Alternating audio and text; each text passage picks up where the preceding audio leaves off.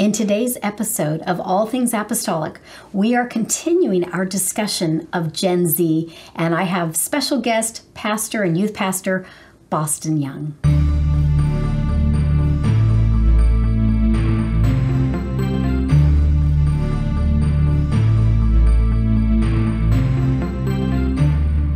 Uh, sermons are sometimes an hour, but a lot of times what the 30, 45 minutes mm-hmm. would probably be the average. And I worry about the attention span of our young people being able to stay engaged in the sermon because you don't want pastors who have to do antics to, Yeah. to maintain attention for that long. But you feel like they, if they have a personal interest, they will be able to maintain their Yeah, attention. so the deal for me is not trying to have the coolest lights and show and do the most backflips and have the most whatever. The real deal is you've got to get through their filtration system. And their filtrations, just to, from my research, the Oh. Gen. Z, it's not about millennials are uh, not my favorite. I am a millennial, so I'm allowed to say that. Uh, we were all about the lights in the show, and it had to be Uh-huh. the cool. Gen Z are about the purpose because they've lived in a world where it seems like there's not really any purpose and everything's Mm. chaotic and everything's upside down. So if they have a purpose, okay. So one of the things So in a way, it's more substantive. It's more Millennials substantive. were kind of Yeah. superficial, and you're seeing Gen Z is, but you have to get past that get filtration. past. So at the, there's a Okay. point of superficiality, but once you get once you use once you hook it, then you can. Okay. Okay, so this sound this is a really good example that uh, a that I'm running actually is and it's based off research by an, a, another doctoral student who did it with a restaurant is and I'm doing it with a hostess system but with a restaurant a restaurant host he had Gen Z's being the restaurant host. He told them he would give them a one dollar raise if they got better reviews on how to be a good host because they're always on their phones they're texting they're Yeah. distracted whatever So get dollar more, Okay, an, dollar hour more an hour. if you can get good reviews. Okay. So to a lot of millennials and definitely to my dad's generation and up, that seems like oh, I need to Yeah. get five reviews. That's okay. He, I don't think, I think his numbers were like forty percent of the kids did it. Okay, Mm-hmm. because they didn't care. they didn't care. The mo- Okay, the more money was but- not a motivator. No. Okay, then he switched it and he said, "Look, this is why it's important. It's you walk through the door, they're the first face you see. Mm-hmm. if you're happy, if you're upbeat, you're all this kind of stuff. You are what you're doing." It- they, he put import, emphasis of importance, no money, emphasis of importance of the hostess job, and it mm. got through to the Gen Z, and I think it was like 80 or 88 percent, something like that, of his Gen Zs bought in and the reviews went up and everything. So that's so interesting. They're not really looking for, which is traditional in high, in Yeah. um, K twelve and stuff, that external reward system. They, if you can put, have you can help them recognize intrinsic value, What they're doing is valuable. then they will do it. yeah. Wow. Uh, it's, But in some ways, it's more substantive. it's way more so, and that's why everyone loves to hate that they're just like the doomed generation. They're so much more substantive and capable Mm-hmm. of doing everything's about the cause, everything's about the purpose, everything's about it's even if you read I can't remember who it is, but he's written like ten books on Gen Z. The one I'm talking about is Gen Z goes to work. Uh, there have been a lot of negative comments on that, right? Okay. That they're lazy, they want flexibility, they want to stay home. Yeah, and all of those things are true, but at the same time, if you leverage it correctly, that they see the value. Mm-hmm. And so they don't see the, and understandably, because we just got sent home for three years Right, from work, right. they don't see the value in going to the Right. office. So if you can show them why it's valuable, they buy in. Mm-hmm. If you can make them feel comfortable and ac- access to it, they'll buy in, and they'll buy in better than definitely better millennials. Mm-hmm. So there's a lot of things like that that w- the perspective is just wrong. Is it's not that they're lazy; it's that they've been told it's not valuable to go to work, and so why do I need to go to work? I can do the work at home. So once you prove to them that it is valuable, then they'll go to work. Now, this is a tangent, and we won't get off on this, but it makes me think of another area. One of the things Jonathan Haidt argues is that Gen Z is more prone to political dysfunction. And because of, again, what he claims is, is the um, result of, of social media and having that tethered that um, phone-based childhood is that um, there's a gap in people's lives, and they are going to fill it with political causes that are meaningful to them. Um, but sometimes, if they don't have good, strong moral and value grounding, then their ability to discern what's the correct side of morality will be challenged. And of course, uh, he he's Jewish, but he gives the example of Hamas and the attack on Israel, and that we see a lot of Gen Zers um, supporting the barbaric attack uh, because they're saying that that basically Israel is an oppressor, and so because they see the world through this lens of power, which is a very common lens right now, and there's oppressor and oppressed, and Israel falls in the oppressor category, then it makes any kind of resistance against them morally okay. Mm.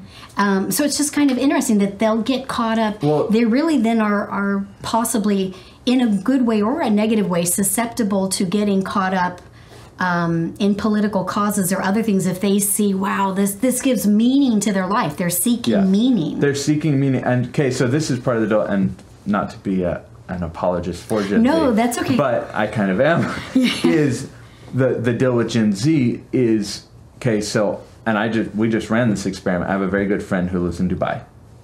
Okay so the whole Hamas situation. Mm-hmm. the media he gets very different. Very different from yes. the media I get. Okay. Yes. So if you're, it, so it's based off of the algorithms. Okay. Mm-hmm. So if I'm following the majority apostolic Pentecostal preachers, my feed is going to be directly affected. I'm not going to see the same media right. as the high school kid in my church who's right. obsessed with basketball and is going to be fed by those things. Right. Okay. And so th- these kids now we're in church, so his feed's going to be affected yes. and it's going to be more well-rounded, whatever. But you get some random kid at Elk Grove High mm-hmm. that isn't connected to any Christians, isn't even connected to anyone of a God consciousness. Well, his feed is going to be directly mm-hmm. built around putting him into a box. And that's really a concern even of adults, not just yeah. Gen Z. Oh, yeah. All of us are being fed things that uh, support our own ideology, and we are less and less challenged by alternate ideologies where we have to learn to understand those ideologies and maybe compromise with them or, or yeah. i don't know if compromise is the right word but to be able to discuss through issues and sometimes agree to disagree yeah.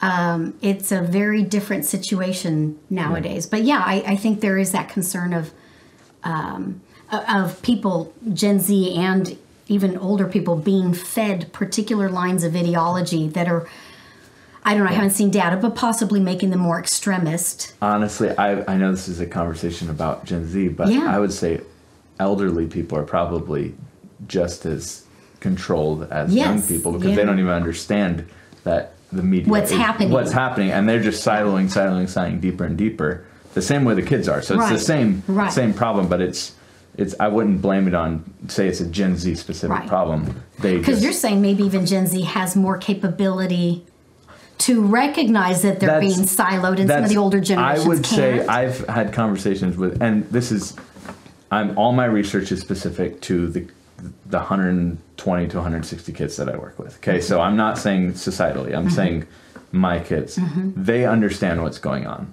and so they try. This is where it gets very that for even for, for, me as a millennial to think like this is difficult but they try and some of them that i've been talking to they try and build their feed they'll follow someone oh, wow. from a different point and of intentionally view intentionally make it go. Okay. to try and uh, manipulate the algorithm to say whatever instead of just siloing them deeper and deeper into the wow. their uh, you know the what just thinking the way they right think. right just into their particular yeah. ideology and i'm not so recommending that or anything it's just an interesting concept to me that as yeah. a millennial i never had to go through yeah so they're going through things and having to think about life and yeah media and everything in a different way than i never ever yeah had to. well and i think the um I one of the concerns with social media, and so potentially people getting more into the extremes ideologically, we're just. I think it, it seems like societally we have less of a less shared values and less of a shared reality. And so we just see more see more extremism in in inability to just have dialogue. Yeah. it, it's really we're entering such a um, an interesting time. So it'll it'll be further interesting to see how gen z impacts that as they age because they're kind of um, the older ones are in their early tw- early to mid 20s now. So it'll be interesting to see how how they progress through some of the issues of adulthood with this specific type of childhood they've had I would say, and I would say we are having a a very everyone's a doomsdayer, and I'm more positive about stuff. So, just societally, we're not talking about depression, anxiety, and that we got Right, off on a different direction. right. But societally, if you think of every major independent podcaster or YouTuber or something like that, the direction that everyone loves to talk about the Gen Z is the most liberal. Look at every single, if you look at every single Gen Z, the people that, the media that Gen Z is consuming in vast amounts, every single one is conservative. more conservative yeah Every single one. yeah So, hmm. if you look at the media that mainstream media that is, that's all liberal. But every single form of media that young people are consuming on purpose, the one, Yeah. not what the, not what if they turn on a TV, what comes up, Right. But what do they search out? What are they listening to to our podcast? And that is one of the benefits of having the internet, where now conservative voices have Yeah. more opportunity to be heard. Yeah. We didn't have that before. No. No. So I don't. Yeah, that's, no, this that isn't helps. a political show, but Right. just to put some, it's not as doom and gloom as you think. Yeah. I would say my youth group is. But that's probably, like you said, you're speaking, we're talking about um, young people who are coming from overall good families, religious families that have a strong church community. And so they are conservative Yeah. and they're seeking out conservative, other conservative voices Yeah. online. Exactly. But the numbers, I mean, if you think of the world's largest podcasters, top 10 are mostly conservative. So it isn't maybe just Yeah. if you look at the Hmm, numbers, if you compare the top three podcasters to the top three television programs in America, the numbers are conservative. If you compare Yeah, so that may to- bode well for the yeah. future. So I'm not If- saying it's all doom and gloom and that they're just a bunch of radical liberals. There's actually a lot of now they're being battered by media and they're struggling with anxiety and all this stuff. And, Mm-hmm. But it's not as doom and gloom as we think it is. Mm-hmm. It's it's it's doom and gloom because the media says it is. But Mm-hmm. if you look at the numbers, it's not as scary as you think. So then, um, some of the uh, increase in mental health issues uh, may be due to social media. Um, do you see it being affected by specific parts of social media? Yes, so I personally think a lot of the problems with social media is a problem. Number one, it's you know where you spend the majority of your time. But the real, pro- I think a lot of the social media blame is actually a pornography thing. Specific to that aspect of it. Yeah. Okay.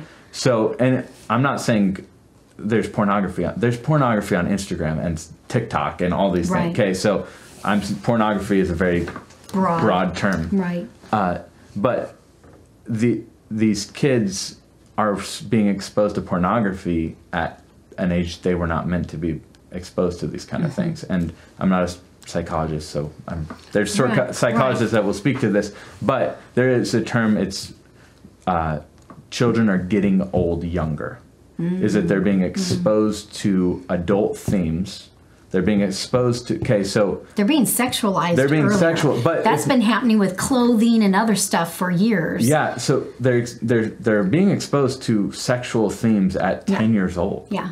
Okay, we humanity was not meant for that. Right. So I don't care if you're Christian or not a Christian. We weren't wired to be Right. sexual creatures at course, ten years old. Puberty is also, which is kind of unusual, and we're not going to get into details on that, but that is physiologically, ha- biologically happening earlier. Yeah. For whatever reason, our bodies are um, or, or the bodies of young people are hitting that age of puberty much younger, which is concerning as well. Yeah. Yeah. So you're you're you're So your hormones and your everything are going. okay, but then also there's more more things. It's not. It's a major pornography. Pornography would be to me the number one issue with what's going on. But there's more. Is okay. I didn't see a dead person until I was an adult. These kids are seeing people actually die on social Yeah. media and Yeah. YouTube, and they saw they saw the beheadings of ISIS. My the twelve year olds in our youth group saw people get beheaded. Okay, I didn't see real horrific atrocities. Okay, so you're Mm. Yeah. twelve years old. Your mind wasn't meant to see those kind of things. Yeah. That that's not something. And so there's a scarring. There's a searing. There's a okay. They they aren't.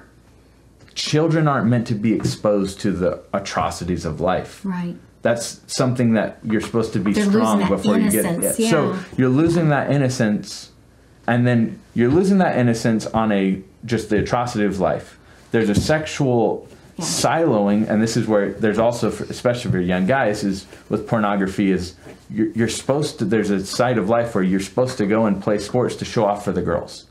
But if you're addicted to pornography, who cares about the actual girls? There's just pornography. Right, Okay, so right. and I won't get into that, but you get deeper and deeper into that, and you don't care about outside world. You just go deeper and deeper. Then you don't have community. Then you don't have your teachers. Then you don't have trust. They're Then you- isolating And you're just going further and Yes. further down the silo. Yes. On top of the fact that you've been exposed to murder and death and beheadings and all this stuff as it, and this is not before, and I don't, you know, I'm not a sociologist, but I guarantee that seeing those things in developing world countries where there's wars and atrocities marks and scars those kids. Right. Right. But here in America, we haven't seen those things Right. in my generation or your generation. For the first time, our kids are being exposed to those. Mm-hmm. And that's some of the why I would say the data is just off the charts and it's correct. It is because of social media, but I don't think it's some evolutionary where the blue light is distorting our mind or something. right. I think it's the the content of and the time. I'm not saying I'm not discrediting Right, that. right. But I do think if you're reading Bible stuff for six hours a day, it's healthy. So I'm not okay. So if you listen to all Right. things apostolic seven hours a day, it's, It's good. okay. So there's good forms, but it's what it's the what content, how the content is being taken, and what when you're being exposed to certain themes and actions and violence and stuff, it does distort your brain. And they're having to fight with that. And luckily, our kids, our church kids, have access to hope and to be pulled out and to support and talk about and counsel and that kind of thing and the Holy Ghost and all that. But this is something general that when we get a new kid out of the high school that comes to church, these are real issues that he he or she are struggling Mm-hmm. with that we have to be aware of. And on that note, I think we'll we'll pause because we um, we've had a great episode, but I so you can't move. Okay. okay. you have to stay because there's I think there's more questions. You've you've got a lot of knowledge to share with us. So thank you so much for joining us today, and please join us. We'll have a follow up episode um, interviewing Boston Young regarding Gen Z. Thank Okay. you so much.